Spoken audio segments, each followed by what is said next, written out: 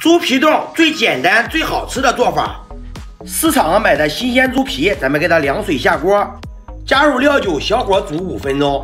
煮至能用筷子插动捞出，微微放凉，刮去里面的肥油，两边刮一下，刮去多余的油脂。处理干净的猪皮，给它切成细条。改好刀的猪皮，撒入适量的精盐，用手抓拌两分钟左右，这样能有效的去掉油脂。用开水多清洗两遍。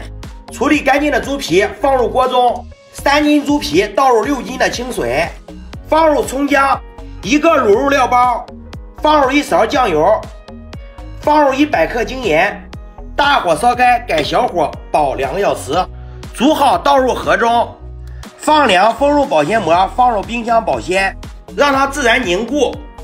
看一下老铁们，满满的胶原蛋白，取一块改刀切成片儿。再配点万能的小蘸料，猪皮冻像我这样做老美味了。